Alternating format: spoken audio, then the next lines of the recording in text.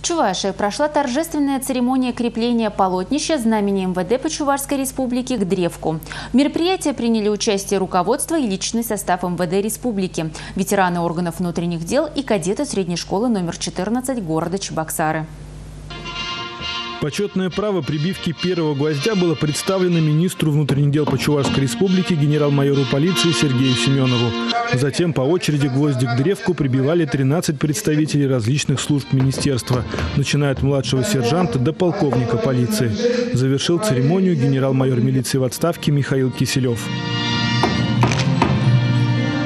Сегодня знаменательное и историческое событие в жизни Министерства внутренних дел по Чувашской республике.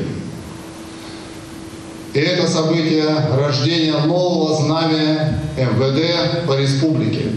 Знамя – это символ стойкости, мужества, высоких гражданских позиций в жизни каждого сотрудника полиции. Новое знамя будет храниться в дежурной части МВД, а предыдущее выставит на всеобщее обозрение в Музее истории органов внутренних дел республики.